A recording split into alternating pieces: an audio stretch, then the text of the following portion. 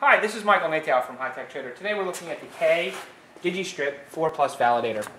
Um, go around the back for a second. As you can see, there's no temperature probes, no alarms, no sensors hooked up. Therefore, it's going to arrow out on a lot of stuff.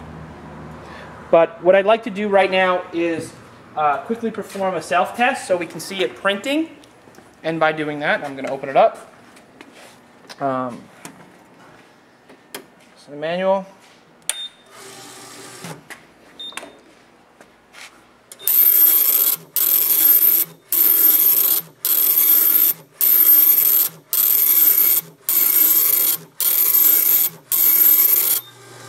And we'll just move the paper forward.